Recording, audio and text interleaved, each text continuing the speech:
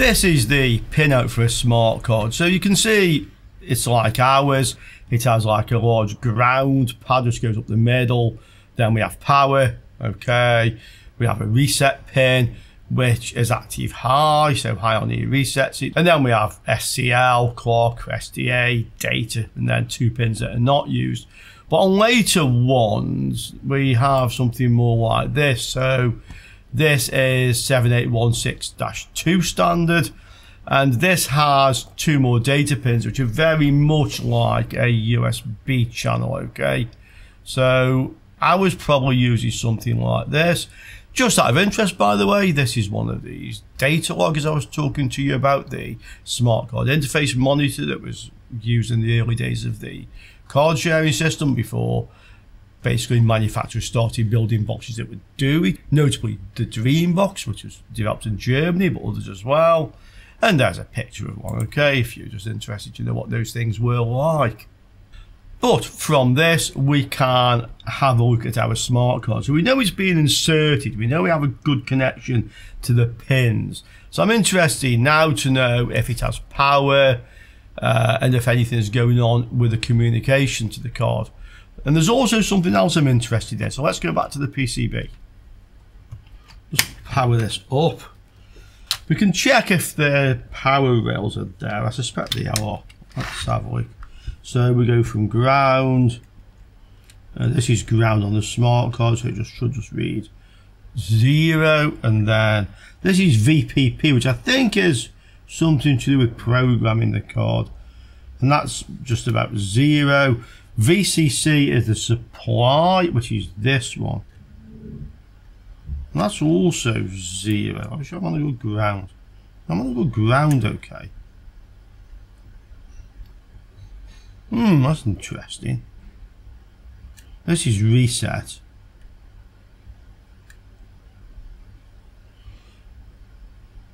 This is the data. We wouldn't expect to see anything on there anyway. But it's looking like this card has no power. Yeah, can you see that? Yeah, in fact, with I touch it, it actually just goes down to zero. That's interesting. We just put the capture card on. Well, at the moment it's not actually running yet. The box is booting up. Yeah, so I have to wait until it finishes booting. Maybe that's why there's no power on the card, or appears to be. Will that come on when it boots up?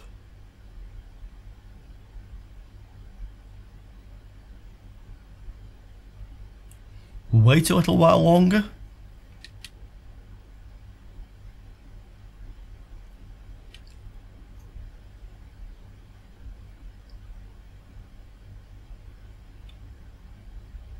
Okay, lady, system time now what? We're on a channel, smart card, and we've got no power to the smart card. Huh? Nothing. Nothing. Well, I think we found a problem. The question is, where does the power come from? Yeah. Where does the power come from? Let's have a look on one of the scrap ones. Hmm.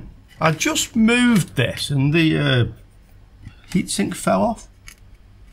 I wonder if that's not been making very good contact and whether that's causing some damage to the chip I don't know exactly but I'm not sure what even would hold that on actually it looks like some sort of hard glue there's nothing else that holds it down okay let's have a look at another one like I say okay I've got another scrap box I think it's a blocked one now this one is doing what you would expect it to do if it was reading the smart card, but there's no subscription on it. So it's telling us that the service has come up with scrambled. If we go to a free to air channel, that will surely work. I'm interested to see if this one responds properly to the remote. Like the other one was kind of like waiting for something, it would seem. So press OK. It reacts straight away. See your order. Uh, yeah, you see this one is responding to the remote exactly as you would expect. It's not taking several seconds every time you press a button. I think we can probably find some free-to-air channel. Yeah, I'm on a free-to-air channel there, so it's obviously working and it's responding. We can have a look on this one and we can see what voltage is going to the card. I'll just go back to one of the sports channels again, which has no subscription, obviously. Okay. Let's have a look at this one and see if we have a supply voltage getting to the card. I'm just trying to figure out which way up it is. Yeah, so this end pin here should be the power in actual fact. Let's have a look. And we have 5 volts to the card. So this one has power to the card. So where does the power come from? Let's have a look on the other one. Well, the power is on this pin, or should be but it isn't. And this sort of comes down this track here. We have two capacitors. This side I'm sure will be ground. And it goes up here, along here, and disappears in the board there. So where's this thing? Hmm. Well, it's a bit hard to see exactly which track it comes through, but it comes through somewhere in the region of this chip, somewhere here. Okay, and this thing is TDA 8024TT. Let's have a look at that, see if we can find a data sheet and see if that would be anything that might be related, like something that generates power or something maybe. Let's have a look. Well, it seems to be something even more interesting than than that because it's an IC card interface. Okay. I can see T, I can't see TT, but I can see T, which must be basically the same sort of thing. Okay, let's have a look. Yeah. IC card interface. Ah, 3 or 5 volt supply for the card. Uh, that's the first thing it tells us. So this does generate the power to the card. It has a power supply voltage itself up to 6.5 volts. It generates the output, which is no doubt set by something. There is a block diagram. Okay. Horsec. Okay. Various other things. So this talks to the card. Definitely It has a pin out so we can see, yeah, card supply. So we have that missing. VDDP is the DC to DC converter power supply voltage. Is that the supply to this chip? Oh, this chip has a VCC. That's the supply to the card. It has a crystal oscillator. Let's see. So where's this chip's power? Ground. This one. So pin 21 powers the chip. Okay.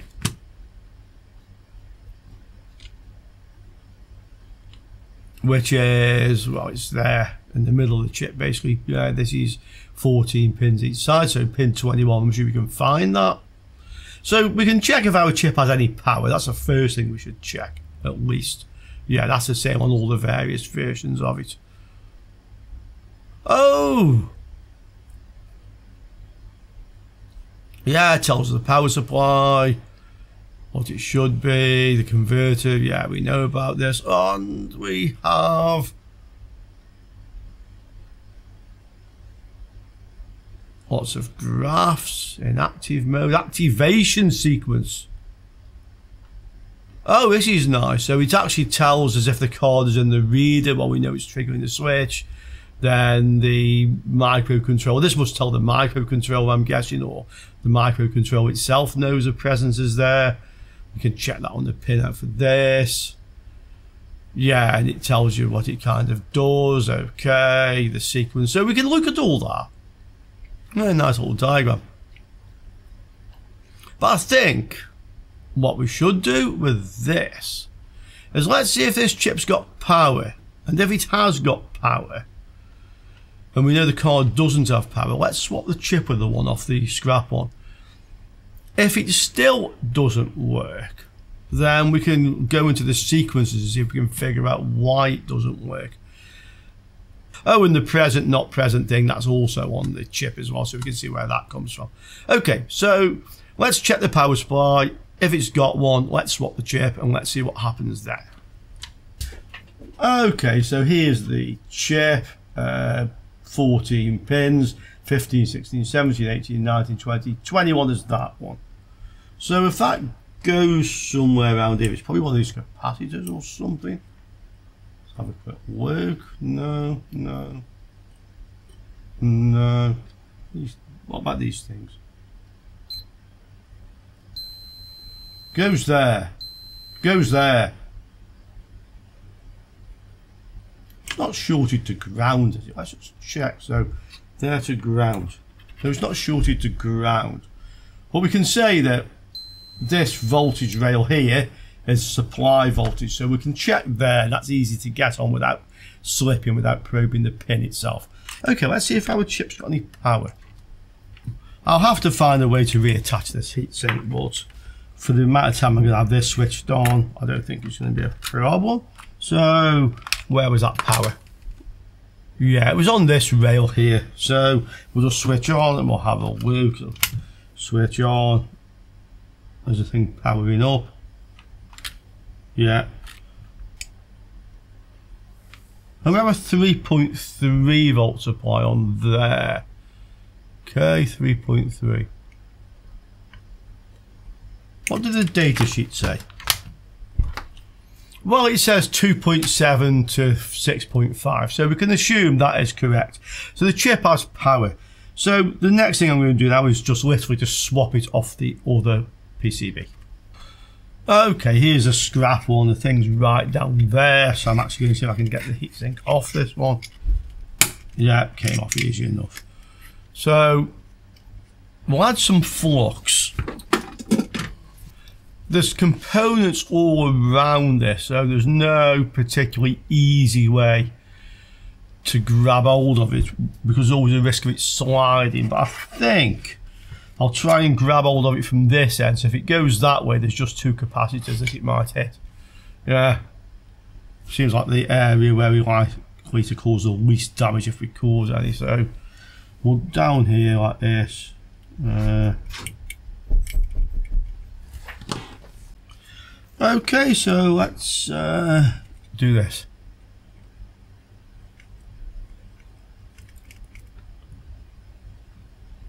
Just added some leaded solder. I can put the Chip Quik on, but actually not quite sure where I've put it. It's around here somewhere. Uh, to get some of this on, be fine. Okay.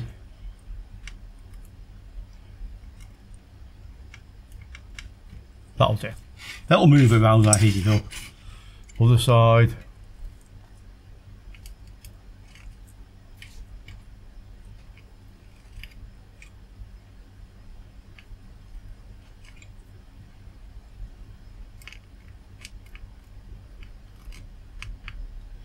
Okay.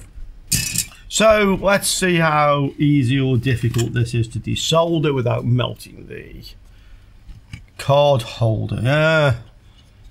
I want to slide it kind of that way. Okay, let's see. I mean, when I say I want to slide it, I don't want to slide it at all, but if it does slide, I want it to move that way. Okay. And I want to heat it in this sort of direction as well.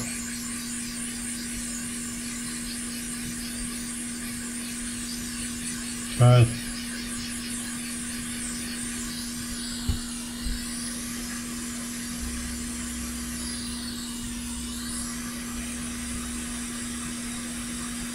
This is going to be quite awkward to lift, I can just tell.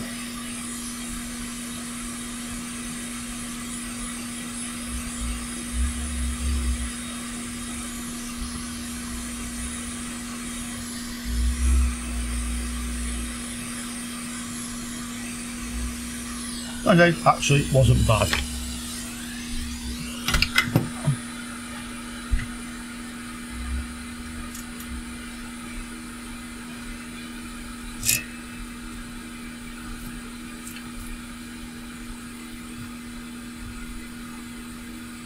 Well, it's sort of maybe just cleans up a little bit if I can, yeah. Okay. Not worried about a few solder bridges and get soldered down anyway and then we can worry about them. But if we can just tie these a little bit out well.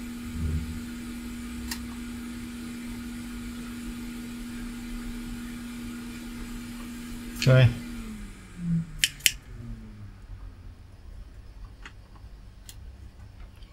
As I say, not too worried. Leave it. So that's the good one. Just so we don't get these things mixed up at all, I'm just going to put an X on that one. I know which card it is because it says under the box, but we may as well put uh, an X on the card as well. Okay. No mixing them up. Right. So same thing again.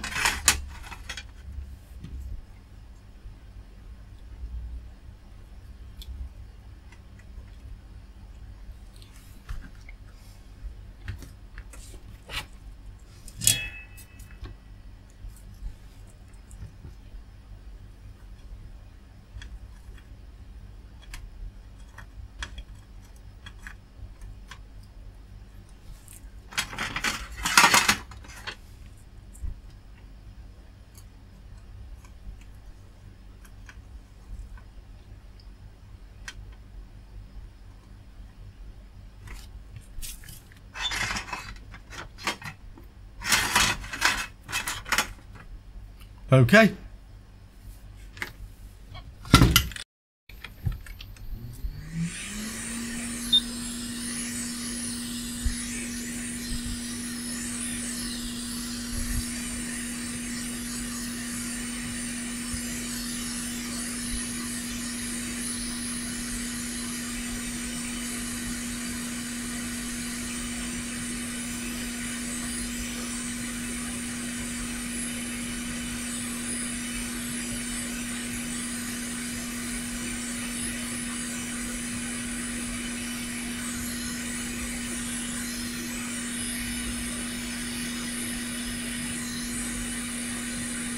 Almost.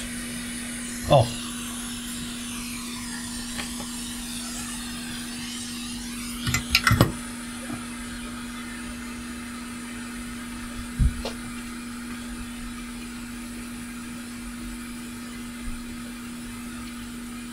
I think I was lucky there not to lift a pad or two because it kind of like done solder at one end but I think I got away with it.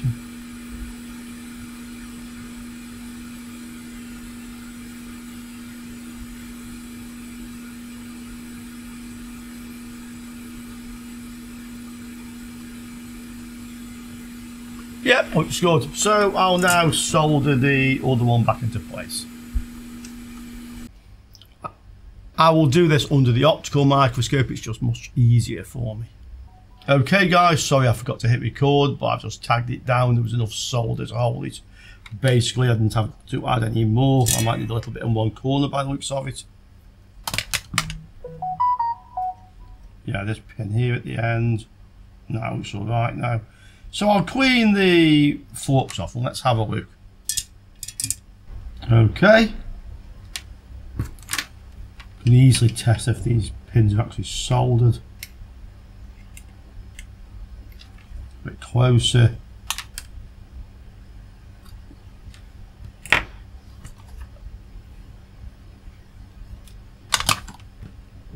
Yeah, that looks good. Other side just gets into focus, water slightly.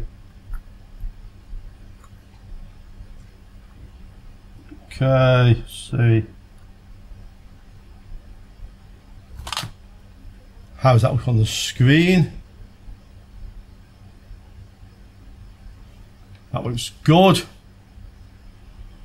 Okay, let's try it.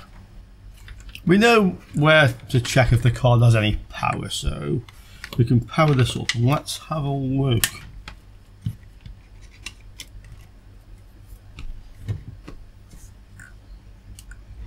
Put the capture card on so we can see what it's doing as well.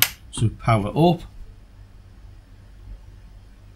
Well, the green light's on in the box. That's a start. What we got? Okay, so we still have no power to the card. Yeah. Even after changing that chip. So I'll just wait till it boots up just to be certain. Oh, hang on, something's happening. We do have power to the card. Let's see what it does.